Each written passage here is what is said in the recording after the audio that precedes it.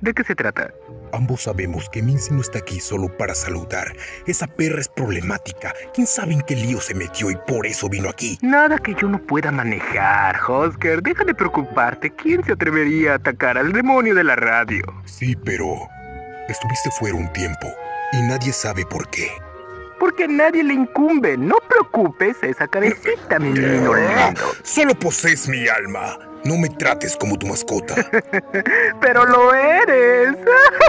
Valiente perro, pero también estás atado.